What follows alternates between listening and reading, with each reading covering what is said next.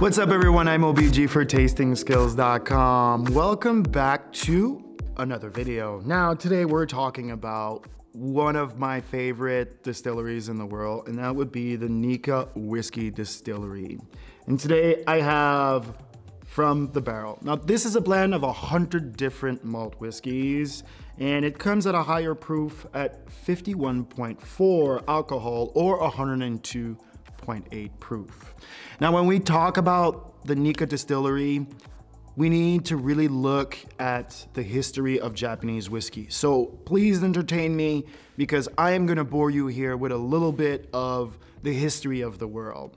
First of all, Masataka Taketsuru is considered the grandfather of Japanese whiskey and probably one of the most influential distillers in the world. So let's cover a little bit of it to start out. First, he was born into a brewing family that made sake in Hiroshima in 1894. By 1916, he graduated. He then moved on to go to Scotland and enrolled into the University of Glasgow. The next year, in 1919, he became an apprentice at Longmorn Distillery in Speyside to learn malt whiskey production. He then became the apprentice to James Calder in Bo'ness to learn Coffey grain whiskey. By 1920, he was married and an apprentice at Hazelburn Distillery in Campbeltown. He then returned that year to write one of the most influential books because nobody had ever created a book about distilling and about what whiskey production was. This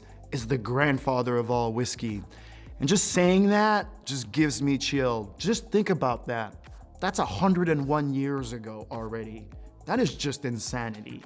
But what else did he do? Well, by 1923, he entered Kotobukiya Limited, which is modern day Suntory. In the same year, he built the Yamazaki distillery. Think about that. He went and built what is considered the rarest, most expensive whiskey, Japanese whiskey in the world today, and he built that and he stayed there for 10 years until he moved on and established the Dai Nippon Kaju Limited Company. Two years after, he opened his Yoichi Distillery and started distilling. By 1940, Nikka whiskey was launched. By 1963, the first Coffey still was imported from Scotland and installed in Asahi Brewery. By 66, the second Coffey still was installed. By 67, he had completed his bottling plant. By 69, Miyagikyo Distillery completed in April and started distilling. And by 1979, Masataka Taketsuru was the age of 85 and passed away.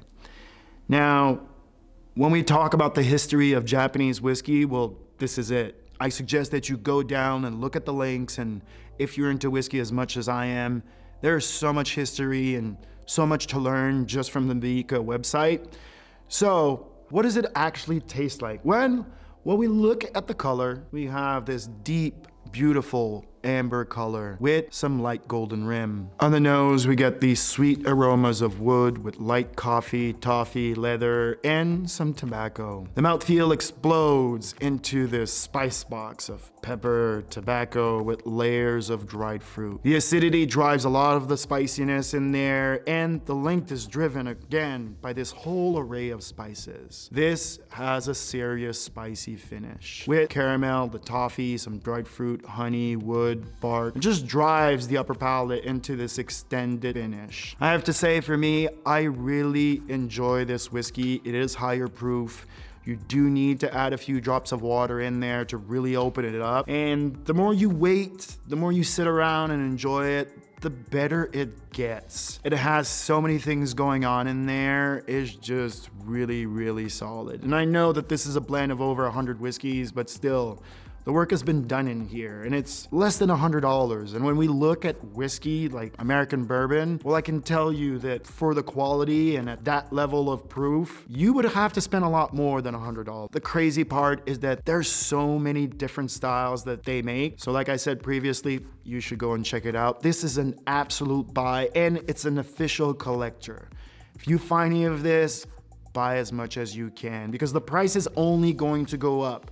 There's a huge demand by consumers for Japanese whiskeys, but there isn't as much as American bourbon when we look at production. All right, That's gonna do it for me. I'm OBG for tastingskilz.com. Remember to smash that like button. Go check out their website. There's so much to learn on there. And remember, please comment. Let me know if you've had any of them. And remember, my friend, stay sober. Peace.